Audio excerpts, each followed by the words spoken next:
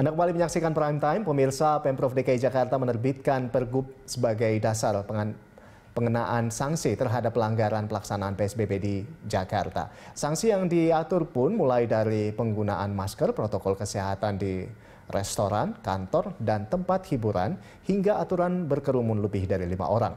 Bagaimanakah sejauh ini penerapan sanksi di Jakarta? Kita akan membahasnya bersama dengan uh, pengamat kebijakan publik, Agus Pambagio. Ya, selamat sore Pak Agus. Selamat sore. Ya, baik. Uh, Pak Agus Pambagio, jadi ini kalau kita lihat positivity rate di Jakarta ini terus meningkat, ya kan? Uh, sementara jumlah denda PSBB di ibu kota ini sudah mencapai totalnya 1,3 miliar rupiah. Nah ini bagaimana dengan tanggapan Anda ini Pak? Apakah ini sudah efektif penerapan sanksi uh, bagi para pelanggar PSBB di Jakarta atau seperti apa Pak Agus Pambagio? Begini kan dari awal saya katakan sebuah kebijak sebuah peraturan lalu muncul kebijakan kalau tidak pakai sanksi itu percuma lebih hmm. lebih baik tidak usah diatur tidak usah diapa-apakan hmm. karena apa orang akan jerah ketika itu disanksi yang pas ya kan hmm. nah pak sanksi paling mudah untuk psbb itu hanya administrasi nah sayangnya di pasal 48 dari undang-undang nomor 6 tahun 2018 itu ada perintah untuk membuat pp sanksi administratif itu sampai hari ini belum dibuat sehingga hmm. masing-masing daerah membuat masing-masing sendiri-sendiri ada yang ada yang misalnya denda seratus ribu, dua ratus lima puluh ribu, lalu untuk anak-anak didenda pulsa dikurangin dan sebagainya banyak bermacam-macam. Hmm. Nah ini akan membuat uh, apa nanti pelaksanaannya agak bingung juga di bawah. Yeah. Nah kembali lagi, sekali lagi tanpa sanksi sebuah kebijakan tidak akan efektif gitu kalau iya. sanksinya berapa saya serahkan pada daerah silakan tentukan berapa orang kan hmm. daerah yang tahu kemampuan masyarakatnya sampai dia jerah gitu. Hmm, ya. Jadi kalau uh, sanksi denda sejauh ini bagaimana Pak? Setuju. Sementara ini angkanya ini akumulasi sudah sampai 1,3 ini. Artinya nah, uh, itu... banyak sekali orang yang melakukan pelanggaran. Iya, memang itu jadi, jadi harus terus. Kalau kalau masih tinggi pelanggarannya artinya dendanya kurang besar kan karena orang hmm. tidak kapok kan orang harus kapok nah denda itu harus masuk ke kas negara apakah daerah apa pusat harus masuk dan itu nanti misalnya misalnya ini untuk perbaikan pelayanan kesehatan termasuk penanganan covid nah hmm. ini peraturannya harus, harus disampaikan karena kalau tidak nanti masuk ke kas daerah kas negara lalu dipakai oleh macam-macam jadi earmarksnya harus jelas gitu hmm. Ya, jadi memang harus ini ya angkanya harus bikin kapok begitu ya Pak ya. Iya, Baik. kalau tidak nah, tidak kan kayak gaji kan 500 ribu orang akhirnya ya. kan kapok. Gitu. Hmm. Baik. Nah ini uh, pelanggaran paling banyak adalah orang yang tidak memakai masker. masker Jumlahnya ya. ini mencapai uh, 27 ribu pelanggar di Jakarta. Ya. Ini menurut Anda ini bagaimana? Apakah kebijakan uh, uh, seperti apa kebijakan yang baik untuk meningkatkan awareness warga dalam uh, mengenakan nah, masker? Dalam peningkatan awareness warga itu yang paling pas ya hanya sanksi. Sanksi administratif, administratif jangan sanksi pidana karena ini kan kalau zaman dulu namanya tipiring, ya kan pelanggaran ringan nah maksud saya kalau angka itu masih tinggi artinya apa? Kurang. Jadi orang bisa gampang mudah keluarkan seratus lima puluh ribu seratus pakai masker sesek gitu kan? Itu yang harus menjadi uh, patokan sehingga harus direview. Pokoknya dibuat sampai orang jerah. Saya katakan ini soal nyawa manusia sedangkan gage itu lalu lintas itu lima ratus ribu.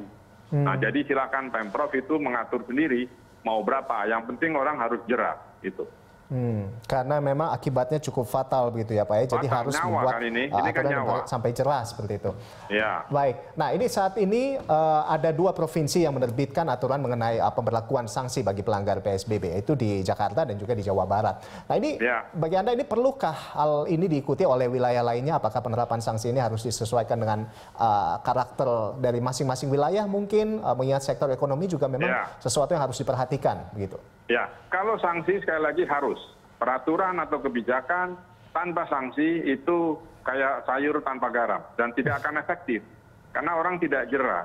Kan bagaimana bangsa Singapura dia uh, menjadi apa uh, tertib? Ya karena kan disangsi dari dulu, yaitu administrasi itu.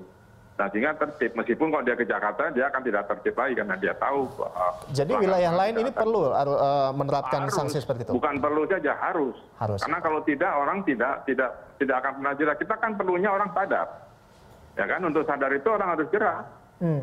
Lalu bagaimana kalau dengan ya kegiatan ya ekonomi, Pak? Sementara kita kan harus memperhatikan uh, ekonomi juga, Pak. Betul kan, kalau mau nggak mau keluar uang ya dia harus pakai masker kan gitu. Hmm. Kalau dibalik-balik kan kayak ayam sama telur nggak selesai-selesai. Sementara kan kita harus menyelesaikan itu. Hmm. Jadi kalau dibilang, wah tapi kan ekonomi lagi sulit, ya makanya pakai masker gitu. Toh hmm. masker gratis banyak, tapi harus dipakai, kan itu demi kita juga. Ya. Gitu. Kalau, tidak itu tidak usah diatur, ya orang bebas saja, nanti kita pakai herd immunity saja, siapa yang tahan, dia yang hidup, ya enggak, ya terberangkat kan gitu. Hmm. Padahal sebetulnya hanya sesimpel pakai masker begitu ya Pak ya? Iya. Baik. Nah, lalu menurut Anda ini bagaimana kepatuhan warga terhadap protokol kesehatan sejauh masih ini? rendah, masih rendah. Hmm. Ya kan, karena memang uh, dalam hal uh, pembuatan dan pelaksanaan kebijakannya pemerintah masih ambigu.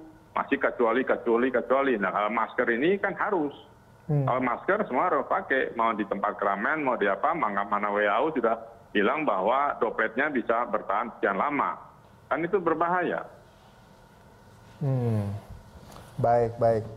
Nah, uh, selanjutnya Pak dengan memperketat proto, uh, dengan ya terus memperketat protokol kesehatan, ini memberikan sanksi bagi pelanggar. Ini hal apa hmm. yang dapat dilakukan pemerintah sebetulnya untuk meningkatkan uh, awareness begitu warga? Ya terus terus melakukan komunikasi sosial kepada masyarakat harus pakai di mana pun itu kan sekarang kalau pakai uh, buzzer-buzzer itu dimintalah buzzer-buzzer kan ada yang membayar ya dibilanglah suruh pakai masker semua hmm. artis-artis bilang segala macam tapi denda gitu nah kalau dendanya ringan ya seratus ribu kali jadi uh, Pak Ogah aja bisa dapat ya kan? Susah. Hmm. jadi maksud saya tetap harus nilainya yang membuat orang jerah. Masing-masing daerah tentukan saja sendiri tetapi harus. Supaya orang itu komunikasi publiknya harus harus terus menerus karena orang kita pendek ingatannya. Nah, tapi kalau Anda melihatnya uh, sejauh ini seperti apa Pak um, komunikasi pemerintah dengan warga? Apakah sudah ya, karena cukup kalau atau masih banyak, Nah, kalau masih banyak yang melanggar kan artinya belum cukup. Itu indikasi yang yang mudah. Misalnya kita ke pasar-pasar. Dari awal saya katakan, kalau kita bicara mall itu mudah mengaturnya karena level tingkat uh, masyarakatnya berbeda dengan pasar maupun kaki lima atau sektor informal lain. Nah, itu harus ada pendekatan. Siapa di situ? Ada jawara pasarnya kah? ada orang-orang yang disegani kah ya itu yang harus memaksa mereka untuk menggunakan masker. Hmm. Jadi Anda mau bilang bahwa ya pemerintah kurang galak begitu Pak? Iya, masih kurang. Komunikasinya sangat kurang soal masker, soal jaga jarak dan sebagainya. Buktinya orang masih dempet-dempetan. Hmm. Baik, terima kasih banyak atas waktunya Pak Agus Pambagio Sama-sama. sudah bersama kami di Prime Time. Ya, masih, mas sore. Ya.